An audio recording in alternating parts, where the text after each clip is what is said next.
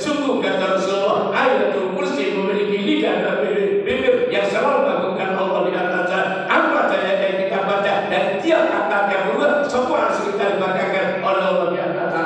Perhatikan sebelas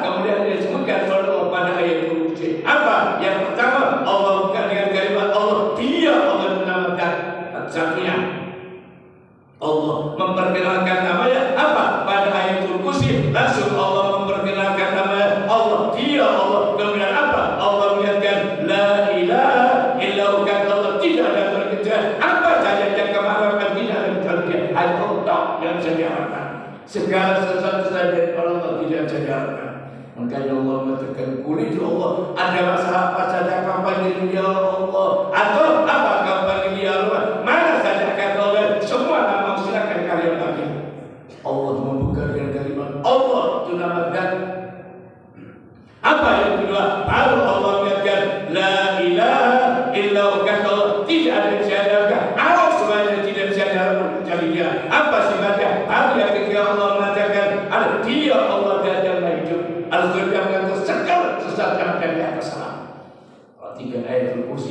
satu persatu sebelah kemuliaan yang disebutkan Allah pada satu ayat ini. Pada 255 Allah memperkenalkan namanya dulu supaya tahu orang katanya orang tak kenal makanya dari mana kamu bisa kenal kepala karena ada ada juga. Seluruh apa dan seluruh berpikir pagi dia Allah cuma kita tahu. Yang apa dan berpikirnya macam-macam beda-beda orang mengatakan ayat berkokok berdiri semuanya pun berkicau berpikir baca kita saja Allah menyatakan apa? Seluruh yang ada di acara berpikir bagi nama Allah cuma kamu jangan siapa pada tasbih mereka?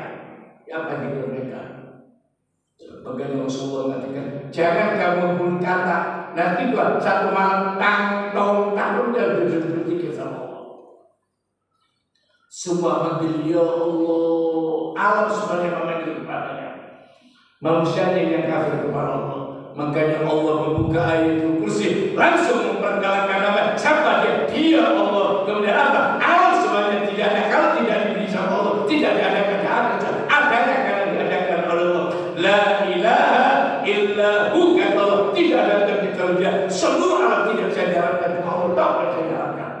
Apa sebabnya? Al-Hayy. Dia Allah dan yang itu. Terus Al-Quran yang mengatur segala semua diatur oleh Allah sampai demikian rapinya. Urat-urat aja tujuh semua diatur semua. Al-Qayyum yang mengatur segala sesuatu. Kemudian apa? Yang keempat baru Allah mengingatkan kepada kita semuanya la ta'khudhu sila sama sekali Allah tidak pernah tidak boleh rasakan tidur atau tidur sama sekali kantor lagi tidur. Di mana hebat orang kalau jangan tuh yang merasa badannya kekeringan, ya jangan bukan mau kedakuan. Ya kan boleh itu. Di mana kekuatan yang sombong? Makanya pada saat tasila tergerak dalam hati dan Musa, apa kira-kira Allah atur alam tidak capek? Seluruh alam oleh Allah. Apa kira-kira apa kata orang-orangnya? Allah menjadikan langit dan bumi pada tempoh enam hari kemudian istirahat pada hari Sabtu. Allah mengatakan sama sekali Allah tidak merasa capek. Maka itu kursi dibuka sebenarnya capeknya, dimulai-mulai. Allah namanya apa yang kedua?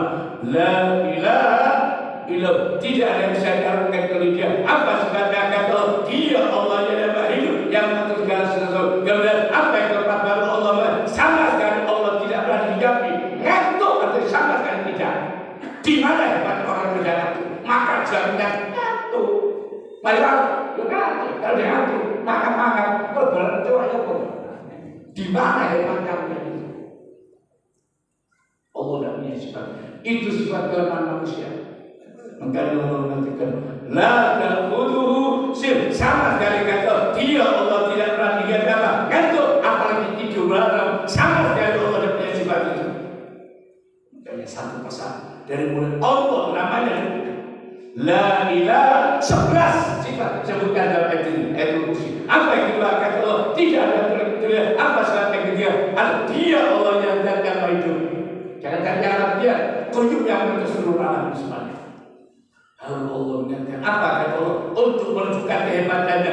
Lalu sama sekali Allah tidak ada digantikan. Tidak pernah. Gimana orang hebat yang kerja kantor? Jelas-jelas itu saja dalam berbuka. Di mana hebatnya? La ta'khudhu sinah sama kalau Allah tidak boleh ngantuk apalagi tidur. Makanya pada saat terkena apa kira-kira. Allah bilang Musa, coba aku pegang dua kali, dua kali saya pegang dengan tak tabrak baru sadar Musa. Kalau Allah ngantuk, Allah tabrak habis.